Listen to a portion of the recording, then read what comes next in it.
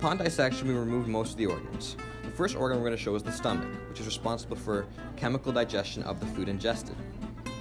The second organ we're going to show is the liver. The liver is largely responsible as an accessory organ of digestion and helps with detoxification of the body.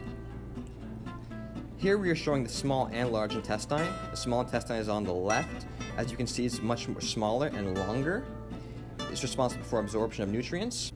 And then the large intestine, which is on the right, which is bigger, is responsible for water absorption and helping to excrete waste.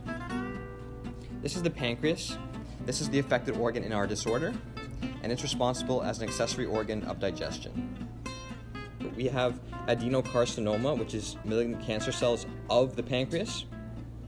So the patient came to us with many symptoms like nausea after eating, abdominal pain, bloated, gas, fever, blood and stool, a bunch of other symptoms.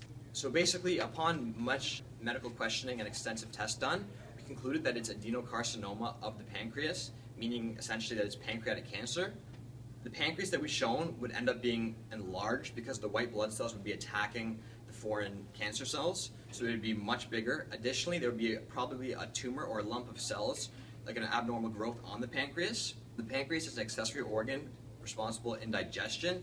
It helps with the chemical breakdown of the food. Its large responsibility is in bile, or surrounds the bile production and storage. Refer to our brochure for more information on pancreatic cancer.